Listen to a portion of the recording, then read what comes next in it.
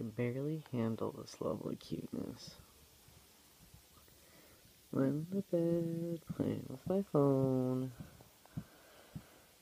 And they freaking cuddling.